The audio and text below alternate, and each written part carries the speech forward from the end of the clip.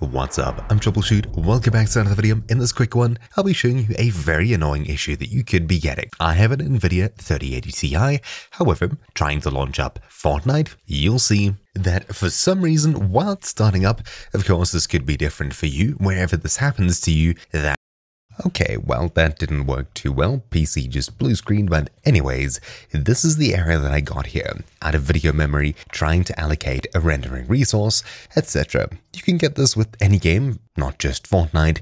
So how do we fix it? Well, obviously assuming your graphics card does meet the minimum requirements, what could be the issue? Well, the first, simplest solution is your page file. To fix this, hold start and press E to open up a new file browser, then right-click this PC and choose Properties. On Windows 11, you'll see this screen here. On Windows 10, you'll see the file browser move to the control panel. On Windows 10, on the far left, click Advanced System Settings. On Windows 11, click Advanced System Settings here. Now we're all in the same place.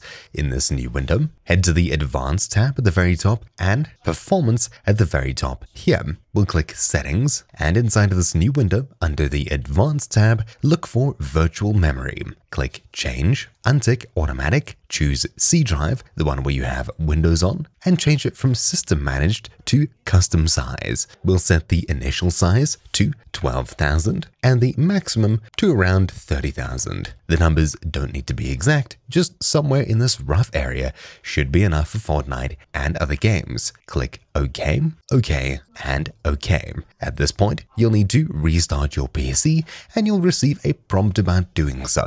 You'll need to do that here. Now, assuming that doesn't work, we can verify the game files to make sure things are working properly. For Fortnite, head to the library and search for your game here, otherwise you'll see it in the list. Click the three dots underneath it, choose Manage, then select Verify next to Verify Files.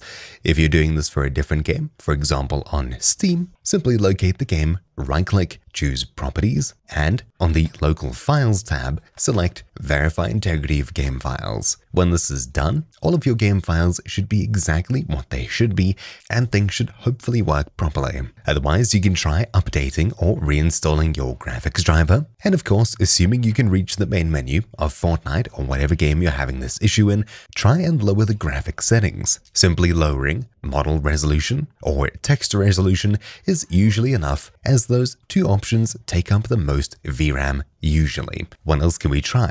Well, assuming you have a dedicated GPU like an NVIDIA or AMD graphics card and an integrated graphics card, such as built into your processor, you can check this with Control-Shift-Escape, which pulls up the Task Manager, and on the Performance tab, the second tab here, you should see your Intel GPU built into your graphics card and your NVIDIA GPU, for example. Anyways, if you have multiple graphics cards, what you need to do is navigate to where Fortnite is installed. If you chose C drive, it'll more than likely be in C program files, Epic Games, Fortnite, Fortnite Game, Binaries, Win64, and inside of here, we're scrolling all the way down, sorted by name for Fortnite Launcher and Fortnite Client Win64 Shipping.exe.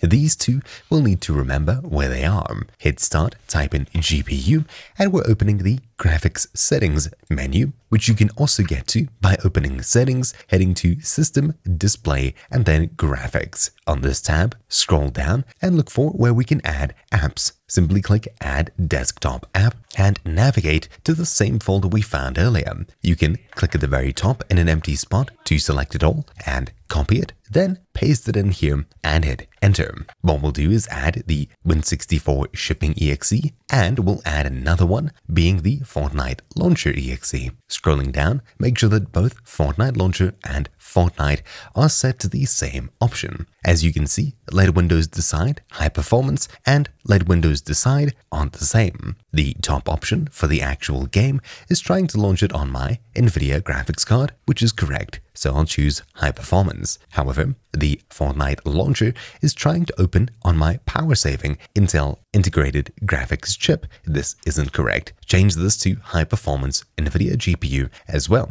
Both of these should be high performance. This was the solution for me and was what fixed it for me. However, if you are still having issues, you can reset your graphics settings or all for Fortnite by holding start and pressing R to bring up the run dialog and inside of here type in percentage local app data percentage and hit enter. Then in here we're navigating to Fortnite game so click anywhere and type in Fort where we should have Fortnite game selected. Open this, then saved, config, Windows client, and you'll find game user settings.ini in here. You can customize your game user settings, such as resolution, etc. But the best thing to do is just rename this file so it's completely reset. Otherwise, you can delete it if you're sure you don't want to keep anything from it. Renaming it is good as when the game fires up again, it'll generate a new options file, and assuming you want to go back, you can if it's renamed. And that's about it for this quick video. So, thank you all for watching, mine has been TroubleChute, and I'll see you all next time. Ciao!